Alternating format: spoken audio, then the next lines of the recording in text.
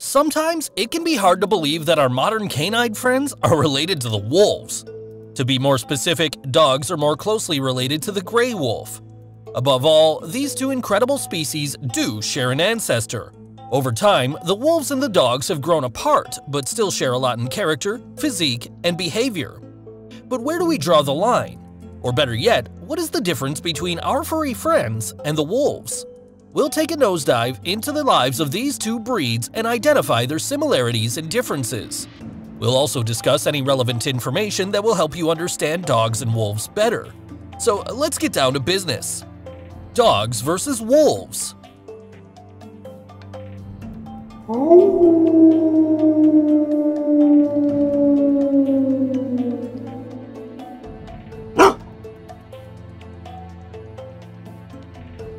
Physical characteristics. Have you ever noticed that dogs look so similar to wolves? Well, physical appearance is the obvious place to start when comparing dogs and wolves. But their muzzles, teeth, and even the size of their brain are a little bit different. Wolves and dogs have varying leg lengths and strengths. That's because the paw of a dog is almost half the size of a wolf. Additionally, the tail of dogs will typically curl upwards, which is not the case for wolves. Generally, wolves are more massive than dogs with longer muzzles, larger teeth, legs, and even physically larger brains. Additionally, wolves typically have a narrower chest with the front legs pressed in. On top of that, the elbows point inwards while the feet usually point outwards. The wolves also have a precaudal gland at the base of their tail, which sends pheromones to other wolves. These pheromones send a signal that the wolf belongs to a specific pack. Dogs have the precaudal gland, but in dogs, this gland is vestigial and only has minimal functionality. Domestication Dogs are man's first and loyal friend. That's because these species were the first to be domesticated, and dogs are direct descendants of the wolves. Over 10,000 years ago, humans domesticated the wolves, and the breed developed to dogs. Today, dogs are more responsive to training compared to wolves. Dogs respond to sounds and will take commands from their masters. However, wolves are more responsive to hand signals. Additionally, dogs can read facial expressions from their masters and have been known to respond to emotions. Wolves are hunters and they're good at it, and that's thanks to their physique. They have healthy wolf teeth, which are more robust than those of dogs. Wolf teeth can crush large bones within seconds. Behavioral traits. We all know that wolves are social animals, and they will always move in a pack. Wolves typically need a fence and constant monitoring. On the other hand, dogs live on themselves and they don't need any containment. Dogs can live under the same roof as their masters. When it comes to sociability, dogs take the crown.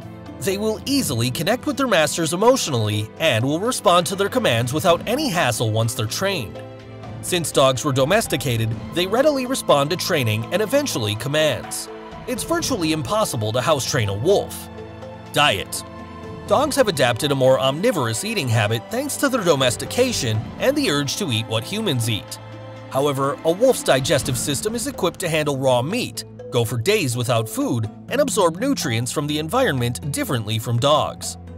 That is an important fact to remember, especially if you want to pet a dog. That's because dogs' ability to get rid of pathogens from raw meat is somewhat limited compared to their counterparts. As much as wolves can eat plant materials once in a while, they are true carnivores. On top of that, wolves will generally eat more than what dogs eat. Typically, that's because wolves understand that it might be long before they get the chance to eat again. Therefore, they end up eating a lot at once. But dogs eat almost every day, and they don't have to hunt for their food. The weird part is that a domesticated wolf will likely develop sickness due to the high protein levels. Shyness as much as we'd like to portray wolves as vicious animals, they're probably one of the shyest creatures in the wild. More importantly, wolves will try their level best to avoid human contact. In fact, very few people have had the chance to see a wolf in their lifetime. It's also relatively rare to spot a wolf attack a person. They tend to self-preserve themselves by running away from people, but dogs are not that shy. Even if you're a stranger, a dog will soon get comfortable around you to the extent that you can play together. Dogs are cuddly and they love human attention, especially from their masters. Strength Wolves are generally stronger than dogs and not just in terms of brutal strength. Wolves also have a higher level of intelligence and endurance compared to dogs. When there's a problematic situation, dogs will eventually quit. Most times, the dog will look at the master suggestively, asking for help. Wolves, however, will try and solve the problem by themselves. Their body is also designed for endurance, and they can take down prey in a matter of minutes. Additionally, wolves always hunt in a pack, especially when the mark is two or three times their size, for instance, bison. Their physical capability makes them fierce hunters in the wild. Reproduction Domestic dogs reach maturity quite early, that is, between 6 to 12 months. The larger dog breed will typically take longer to mature. On the other hand, wolves will take around 2 to 3 years to grow. After maturity, the male wolf will have to leave the pack and find a mate. The female wolves will stay within the group, and they come into season at most once annually. However, the female dogs will come into season about two times a year, one of the most critical differences between wolves and dogs is that only the alpha can mate and pass down his genes in wolves. But in dogs, there is no such hierarchy, and they will mate as many times as possible if not controlled. Meaning of play In dogs, playing is a fun experience to connect with their human masters and kids. However, the same case doesn't apply to wolves. They use play to teach their young ones some critical survival skills and social skills. The parents teach their pup how to hunt, discipline within the pack, and become leaders in the future. That helps them understand their limits, much like human kids. Such play learning is vital for wolves to know how to best communicate in the pack and respect the hierarchy. Through playing, the group will also learn how to hunt together. Dependence to humans. Last but not least is the fact that dogs are almost entirely dependent on their masters. There are feral dogs in the wild, but they don't fare so well since they've been domesticated to the point that they've lost their survival traits. Wolves, on the other hand, are entirely independent of humans. If it were up to them, then they would never have any contact with humans. It's hard to train a wolf, even using primary commands such as sit or stand.